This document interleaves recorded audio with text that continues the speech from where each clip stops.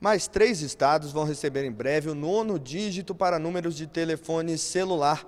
A partir do dia 11 de outubro, deve ser acrescentado o número 9 no momento da descagem para celulares com os DDDs 31, 32, 33, 34, 35, 37 e 38, referente ao estado de Minas Gerais, 71, 73, 74, 75 e 77 para regiões da Bahia e o 79 usado no Sergipe. Por um período de 10 dias, haverá um período de adaptação em que as ligações feitas com os oito números originais ainda vão ser completadas. Os serviços de telefonia fixa não vão sofrer alterações.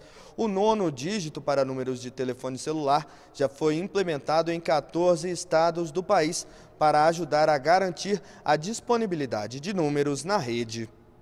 De Brasília, João Pedro Neto.